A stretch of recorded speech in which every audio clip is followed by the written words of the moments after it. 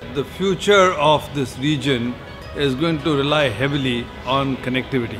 But at the end of the day, connectivity works if you have people to people dialogue and people to people understanding. So a program like this is uh, really very important to create an opportunity for people to learn by touching and feeling.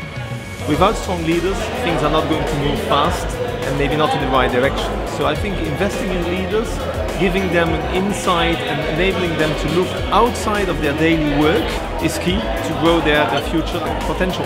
I think it's very important if we are talking about building a community as well as uh, moving forward together to be inclusive and people-centered.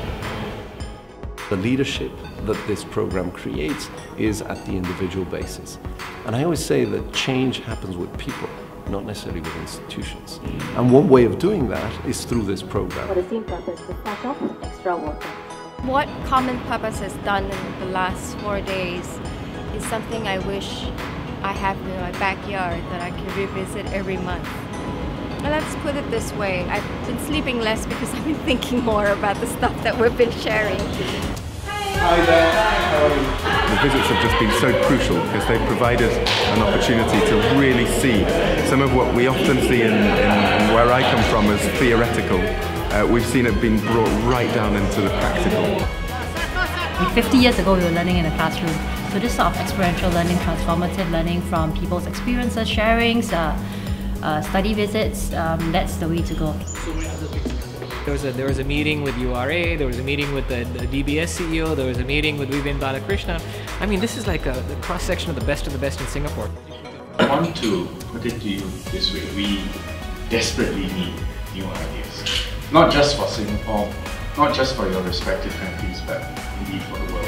This is, this is the future. This is what my children will be doing. The fact that I'm actually working with people from other cultures and we're looking at this one big problem, which is a shared problem. Uh, I was very impressed with um, the enthusiasm, the ideas, uh, and all the passion that was put into putting the models together, and also how they have laid out what they want to do and achieve.